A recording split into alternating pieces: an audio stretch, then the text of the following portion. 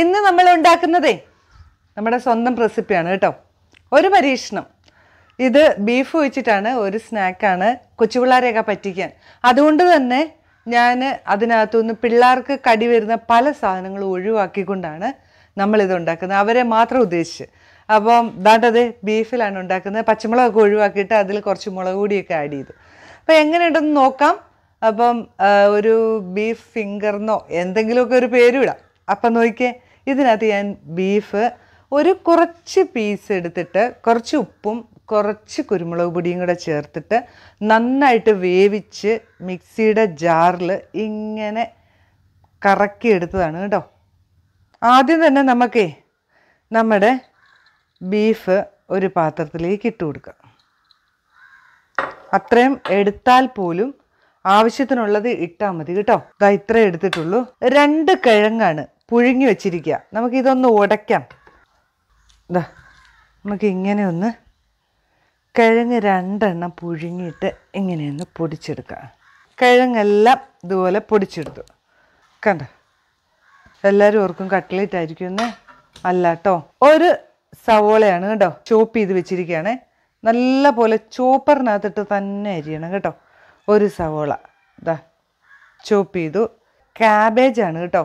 ഇതും നല്ല പോലെ ഒന്ന് ചോപ്പ് ചെയ്താണേ ക്യാബേജ്. പച്ചക്കറി കഴിക്കാത്ത മക്കളെയൊക്കെ നമുക്കൊന്ന് കഴിപ്പിക്കാം. ഇതാ കുറച്ച് മല്ലിച്ചപ്പ്. അതും ഇതുപോലെ പൊടിയായിട്ട് അരിഞ്ഞു വെച്ചു. ദേ ബ്രെഡാണ് കേട്ടോ. അതും ഇതിലേക്ക് ചേർത്തു. കുറച്ച് ചേർത്താൽ മതി. ഇത് നമ്മുടെ എങ്ങനെയാണ് ടൈറ്റ് ആകുക ടൈറ്റ് ആകാൻ വേണ്ടിയിട്ടാണ് നമ്മൾ ഈ ബ്രെഡ് കൂടി കേട്ടോ. നമുക്കൊന്ന് കുഴച്ചൊക്കെ ഒന്ന് നോക്കിയിട്ട് വേണമെങ്കിൽ ബാക്കി ചേർക്കാം. ഇനിയുള്ള സാധനം എന്ന് പറയുന്നത് നമ്മുടെ ചൗവരി കണ്ടോ? ദാ നമ്മുടെ ചൗവരി അല്ലെ? സാബൂനരി എന്നൊക്കെ പറയും. അത് നന്നായിട്ട് കഴുകിയിട്ട് ഒരു അരക്കപ്പാണ് കപ്പാണ് കേട്ടോ. അത് നന്നായിട്ട് കഴുകിയിട്ട് ഞാൻ രണ്ട് മണിക്കൂർ വെള്ളത്തിലിട്ട് വെച്ചിരുന്നതാണ്. നമുക്ക് ഇതൊന്നേ നന്നായിട്ട് ഇതിനകത്തുനിന്ന് വെള്ളം അങ്ങ് പിഴിഞ്ഞ് കളയണേ. അത് നമുക്ക് ഇതിനകത്തോട്ട് ചേർക്കാം. പിള്ളേരുടെ എരിവിന് പാകത്തിന് നമ്മൾ പച്ചമുളക് ചേർക്കുന്നില്ല. വലിയവർ മാത്രമാണ് ഇത് കഴിക്കുന്നതെങ്കിൽ ഒരു പച്ചമുളക് ചെറുതായിട്ട് അരിഞ്ഞിടാം. ഒന്നോ രണ്ടോ. ഇത് ഒരു അര സ്പൂൺ കുരുമുളക് പൊടി. ഇത് കണ്ടോ? ഒരു അര സ്പൂൺ ഗരം മസാല. കുറച്ച് മഞ്ഞൾപ്പൊടി. ഒരു അര സ്പൂൺ കാശ്മീരി ചില്ലി. ഉപ്പും കൂടെ നമുക്ക് ചേർക്കാം. മിക്സ് ചെയ്യാം. ഒരു മുട്ടയും കൂടെ ചേർക്കണം കേട്ടോ. ഇതാ നമ്മുടെ മുട്ട. ഒരു മുട്ടയും കൂടെ നമ്മൾ ചേർത്തിട്ടുണ്ട്. അതും കൂടെ കൂട്ടി വേണം നമുക്ക് കുഴയ്ക്കാൻ. കണ്ടോ നന്നായിട്ട് കുഴയ്ക്കാം. ഞാനിവിടെ കുറച്ച് നമ്മുടെ ബീഫും കുറച്ച് നമ്മുടെ റൊട്ടിപ്പൊടിയും എടുത്തു വെച്ചിട്ടുണ്ടായിരുന്നേ. അതും കൂടെ ഇട്ടേക്കാം കേട്ടോ. നമ്മൾ ആ അത്ര എടുത്ത ആ ഒരു ബീഫ് തന്നെ ഇതിനകത്ത് ഇരുന്നോട്ടെ എന്നാലല്ലേ ബീഫിന്റെ ഒരു ടേസ്റ്റൊക്കെ വരുള്ളൂ. ഞാനിത് ഇതാ കണ്ടോ ബാക്കി റൊട്ടിപ്പൊടിയും കൂടി അങ്ങ് ചേർത്തു. കുറച്ച് ചേർത്ത് കൊടുത്ത് എന്നാന്ന് വെച്ചാൽ നമുക്ക് ആ പിടിക്കുമ്പോൾ ഉള്ള ടൈറ്റ് കിട്ടാൻ വേണ്ടിയിട്ടാണ് കേട്ടോ. ലൂസായിട്ട് പോരുത് ടൈറ്റായിട്ട് തന്നെ വേണം. ഇനി നമുക്ക് ഇതേ നമ്മുടെ മാവ് കുഴച്ച് വെച്ചേക്കുന്ന പോലെ നമ്മൾ കുഴച്ച് വെച്ചേക്കുന്നുണ്ടോ. ഇതുപോലെ ടൈറ്റ് ആവാൻ വേണ്ടിയിട്ടാണ് ബ്രെഡ് പൊടി രണ്ടാമതും ചേർത്ത് കൊടുത്തു കേട്ടോ. ഇനി വേണ്ടത്? ഒരു നുള്ളു വെളിച്ചെണ്ണ എടുത്തിട്ടേ നമ്മുടെ കയ്യിലൊന്ന് തടവി കൊടുക്കുക. എന്നിട്ട് ചെറുതാക്കി ഇതാ ചെറിയ ഒരു ഫിംഗർ പോലെ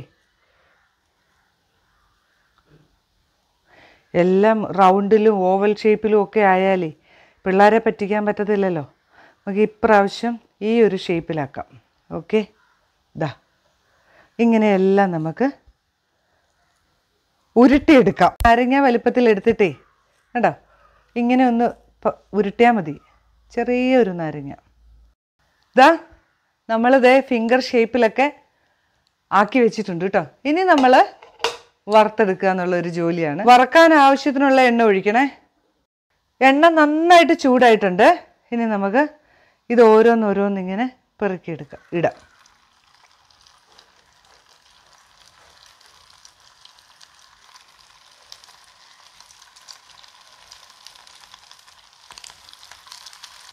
ഇനിയേ ഇതിനകത്ത് നമുക്ക് ഇട്ട് ഇളക്കുകയൊന്നും ചെയ്യരുത്.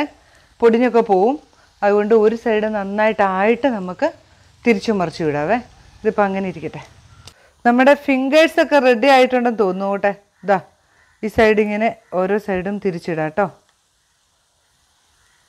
എല്ലാം നമുക്ക് തിരിച്ചു മറിച്ചു എല്ലാം ഒന്നിടാം കേട്ടോ. ആ നമുക്ക് ഒന്നും കൂടെ നോക്കണ്ടേ.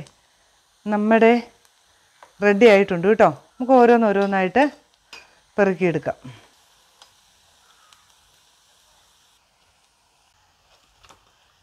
ഇനി നമുക്ക് നമ്മുടെ അടുത്ത ബാച്ചും കൂടെ ഇടാം.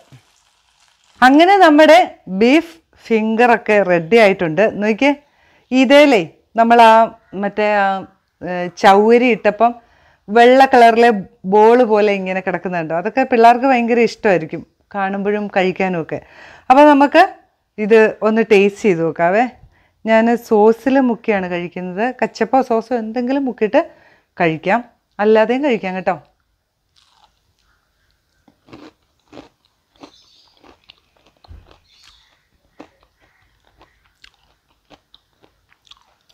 നല്ല രസമുണ്ട്. ഉണ്ടാക്കി നോക്കണം കേട്ടോ.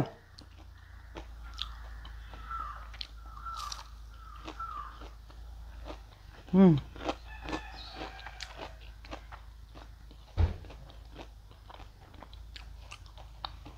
ബീഫ് കഴിക്കാത്തവർ ചിക്കനിലും ഉണ്ടാക്കി കേട്ടോ.